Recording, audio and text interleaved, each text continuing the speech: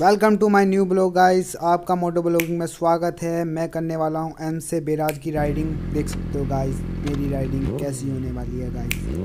यहां से आपको बेराज का पूरा व्यू दिखाएंगे गाइस चलो गाइस मिलते हैं